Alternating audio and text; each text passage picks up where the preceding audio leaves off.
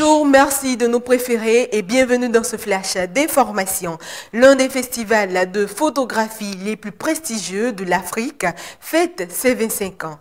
Les rencontres de Bamako Biennale, la 12e édition de la photographie, a permis de célébrer les 25 ans d'existence du festival.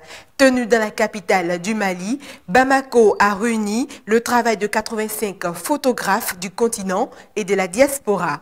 Des œuvres exposées donnaient un regard sur l'Afrique, ses coutumes et ses misères. Ludacris de son vrai nom, Christopher Brian Bridge, devient citoyen gabonais. Le rappeur et acteur afro-américain est devenu la dernière célébrité américaine à prendre la nationalité d'un pays africain.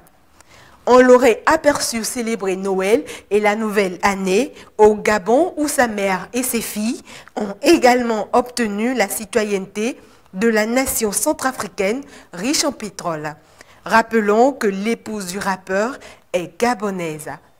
Toujours dans l'industrie musicale, la rappeuse américaine Cardi B songe à demander la nationalité nigériane. La célèbre rappeuse a annoncé sur son compte Twitter vouloir demander la nationalité nigériane.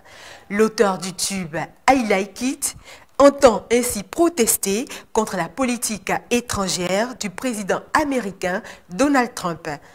Une aubaine pour le Nigeria qui souffre d'une très mauvaise image sur la scène internationale. Désormais, au Burkina Faso, les bisous sont prohibés dans les télénovelas. Dès le 31 janvier, le Conseil supérieur de la communication compte réguler la diffusion de certains feuilletons étrangers qui mettent en scène des étreintes qu'il juge trop osées pour le regard des enfants. Merci d'être resté avec nous. C'était tout pour le flash d'information de ce jour. À demain.